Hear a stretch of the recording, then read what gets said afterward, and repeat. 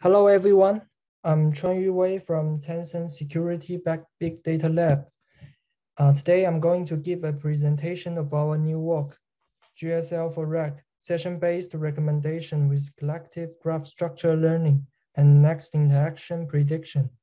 This is a joint work from Tencent Security Big Data Lab and Weill Cornell Medicine. First, I will introduce the background and motivation. In order to respond to user needs in the most timely manner, session-based recommendations are proposed, which focus on user behaviors within a session and predict users' current preference. Recently, recently, to incorporate more helpful information, researchers have proposed session-based social recommendation since users are likely to be influenced by their friends.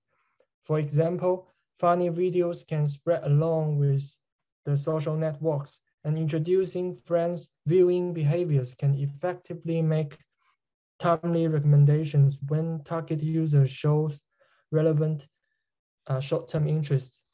Graph neural networks uh, have, success, have, have successfully modeled users' relationships for recommendation.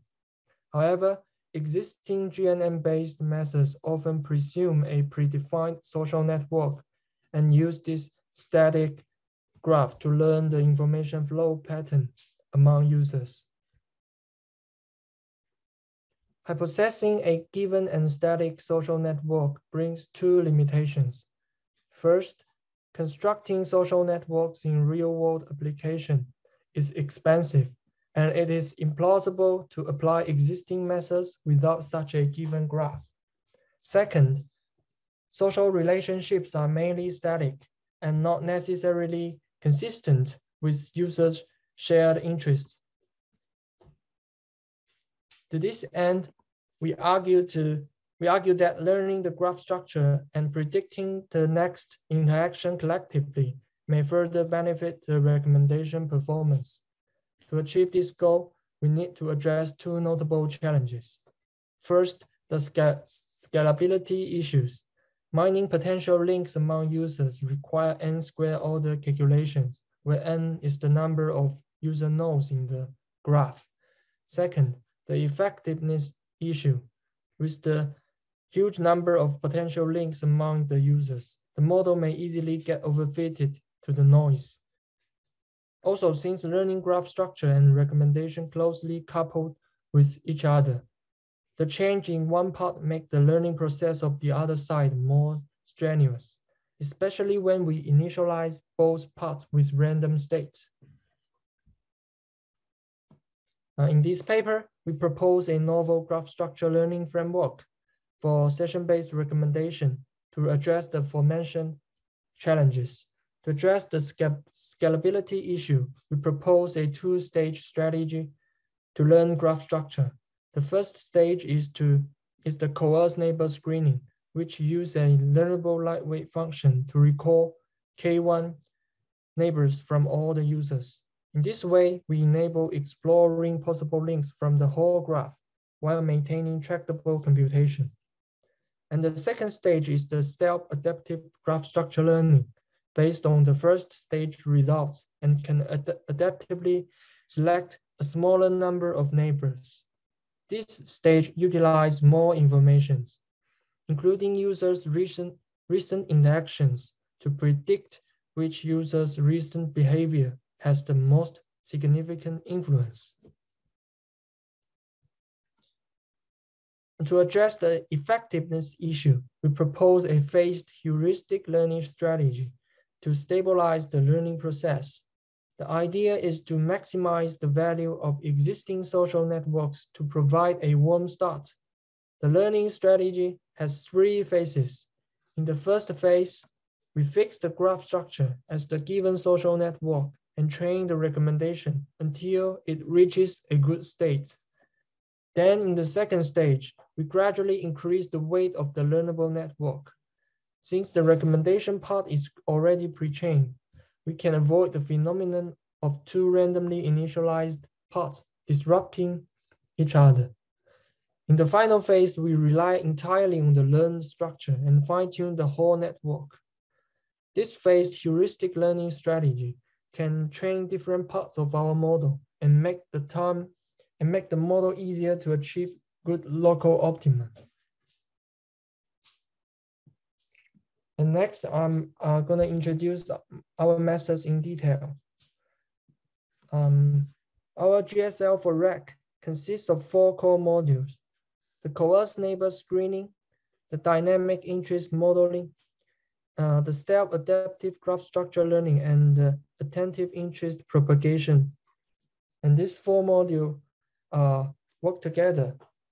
Next, we will introduce this module in detail. Uh, our framework offers a coerced neighbor screening layer to discover interest, de interest dependency among a large number of user vertices. To achieve this with limited computing resources, we randomly initialize two learnable parameter matrices to represent the target and the source node embedding. By multiplying them, we can obtain the first stage similarity matrix. For each user, we select the top k vertices with the highest probability as the coerced neighbors. And then is the dynamic uh, interest modeling. We refer to the short-term interest as a user's latent preference hidden in the corresponding sessions. Following the recent advance, we use RNNs to model a user's session. In practice, we reuse the embedding matrix eSource to depict a user's long-term interest since we mainly focus on the influence on others in the long-term interest modeling. After that, for the neighbors, we concatenate both the short-term and long-term interest followed by a linear transformation to obtain their representations. As for the target user, we only use the short-term interest to characterize it since we aim to predict her next stop, her next step. Um, and then it's the self-adaptive graph structure learning. Uh, this part performs the second stage neighbor selection in a more fine-grained way based on the user's dynamic interest. We apply a two-layer net neural network to extract such relationships between users. We then select the top K2 neighbors with the highest relevance for the target user as the second stage selection and set the other neighbor's weight as zero to form the agent adjacency uh, matrix. Note that the similarity entry will only be calculated when K is in the first stage uh, neighbors, or otherwise will be set as zero. Um, after receiving the fine-grained neighbors and their influence weight from the graph structure learning process, we use a GCN-based model to update the target user.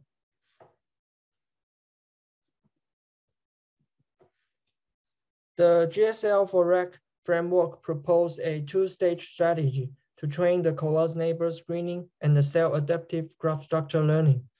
We train and update these two parts uh, sequentially. The first stage only works and learns between epochs. When the second stage is trained along with the recommendation part in an end-to-end -end manner during every training step. The intuition is that a user's long-term interest stays stable for a relatively long time. So we do not perform the coerced neighbor screening very often to save the computation. The second stage learning always receives the potential candidates from the first stage and selects more related neighbors from those candidates. So we expect the second stage network to be the teacher of the first stage, of which the feedback can guide the training process of the coerced screening. For the, uh, for the phase, uh, phase heuristic, we set a probability epsilon to control whether using the neighbors from the social network or otherwise the learned structure. With the epsilon gradually decays, the recommendation process relies more and more on the learned graph structure when the graph learning part has been well trained to a certain level. We choose the inverse sigmoid function to simulate the decay of epsilon. Uh, next, uh, we will introduce the uh, experiments. Uh, to comprehensively study our proposed GSL for REC, we conduct experiments on five real-world data sets, and we use NDCG and hit ratio as the evaluation metrics. Here shows the overall comparis comparison between different models. We have the following observations. The graph-based model methods, including our model, consistently outperform other methods. And GSL for REC performs both outperforms both DGRec and DREAM, which demonstrate that a learned graph structure has more vital express expressiveness to capture the dynamical dependency among users. When the social information is absent, our GSL for REC consistently uh, shows consistent performance in the MIND data set.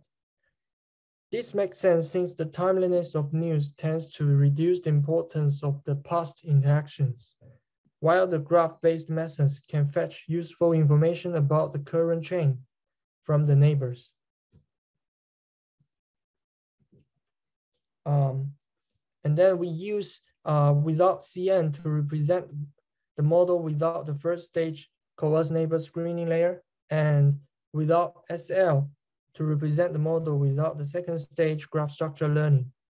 And we can see removing either of them compromises the uh, expressive ability of the model. Besides, the result shows that uh, without the without CN performs better than without SL. This may because a user's short-term interest is usually more valuable in the session-based recommendation. And rely solely on the coarse screening can only capture the long-term dependency among users. And then we disable the phased heuristic learning strategy and term it as without PH. And we can observe that the framework driven by the phased heuristic performs significantly better than the one without it. We find that the loss function uh, of, the model without the phase heuristic drops more quickly at the beginning and turn to a steady decreasing state afterward. However, with the phased heuristic, GSL for REC is more likely to converge to a better local optimum instead of getting an early stop. We vary the selected number and the convolution number to investigate their influence. And we found that um, K2 equals to 50 and L equals to 2 uh, are the optimal choice in our experimental scenario. Um, and to summarize, uh, we propose GSL for REC to learn graph structure from user behaviors for session-based recommendations. And the proposed framework applies to large data sets can infer weighted direct, directed graphs adaptively with or without a given social network. We propose a phased heuristic learning strategy to stabilize the learning process with which we overcome the challenges for parameter learning and achieve better performance. Experimental results show that our methods outperform the state-of-the-art methods on five benchmark datasets from different domains and demonstrate the effectiveness of the learned graph structure. Uh, thanks for your listening and and uh, and if you have any question, you can ask me and or in the uh, in the live chat. Yeah, there's a question which actually mirrors exactly the question I had, which is from Vladan, which is uh, Thanks for the great talk. Have you tested GSL for REC in online production settings? What would be the main challenges in terms of scalability? That's question one. Oh, okay. Is your method specific to session-based recommendation or you might want to take the question that's before that, which is Have you tested in an online production setting and what would be the main challenges in terms of scalability? Um, we haven't tested uh, in tested in uh, online production setting, but I think the main challenges in terms of the scalability would be um, you have to model the se user's sequence of, of its interactions. And when you have to, you, you know, in, in, in real world scenario, the users will uh, can, can reach to millions and millions. So uh, if you have, you want to uh, get a you uh, get a full search on the whole user pool, it, it uh, the, the computation will be very large. So uh, we that's why we uh, propose the two-stage uh, training strategy.